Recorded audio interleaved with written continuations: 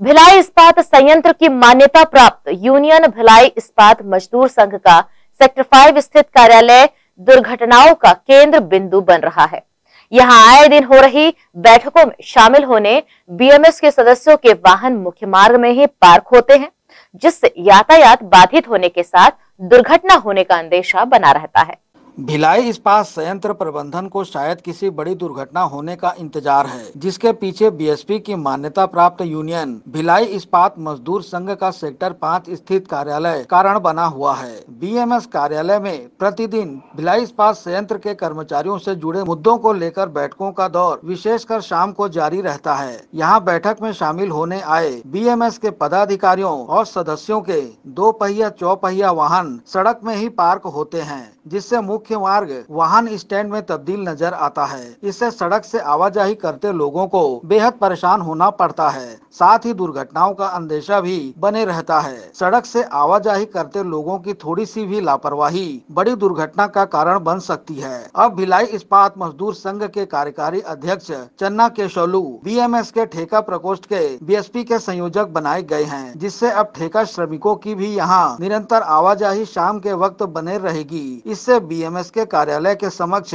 वाहनों का मेला लगने और दुर्घटनाओं की और भी संभावना बढ़ने की स्थिति स्पष्ट नज़र आ रही है। इस संबंध में भिलाई इस्पात मजदूर संघ के अध्यक्ष आईपी मिश्रा ने अपनी प्रतिक्रिया दी। इस बारे में हम लोग प्रबंधन से कई बार आग्रह किए हैं, क्योंकि पहले हम लोग का जो यूनियन था, मान्यता प्राप्त नहीं था, इसलिए संख्या कम थी। आज क्या हज़ारों की भीड़ होती है हमारे बैठकों में? जैसे आज का ही दिन एक ऐसा था कि हमारे यहाँ करीब 500 लोग अभी बैठक में आए और रोड में कहीं पार्किंग की जगह नहीं है, कार्यालय में कहीं बैठने की जगह नहीं है, रोड पे हमारी बैठकें हो रही है, लेकिन प्रबंधन ने हमारे बातों पे ध्यान नहीं दे रहा। अगर प्रबंधन का रवैया यही रहा तो आने वाले दिनों में यहाँ पे कोई दुर्घटना घट जाएगा तो इसका प्रबंधन जिम्मेदार होगा, यूनियन नहीं होगा।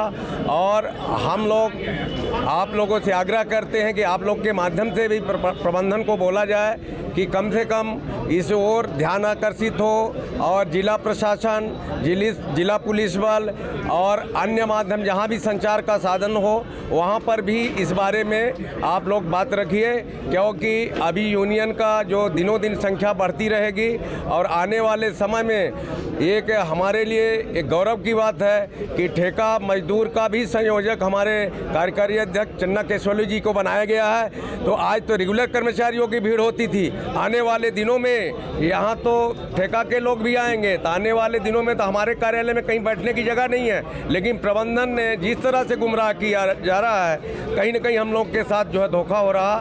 तो मेरा यही करवत निवेदन है प्रबंधन से कि हम लोग के लिए एक बड़ा कार्यालय, एक जगह जल्द से जल्द अलर्ट करें। धन्यवाद। भारत संयंत्र प्रबंधन को इस ओर ध्यान दिए जाने की ज़रूरत है। साथ ही बीएमएस को ऐसे स्थान पर कार्यालय आवंटित किया जाना चाहिए जहाँ उपयुक्त वाहन पार्किंग के अलावा पर्याप्त स्थल बैठने की व्यवस्था सुनिश्चित रह सके। ग्रैंड एशियन न्यूज़ के लिए संजय दुबे।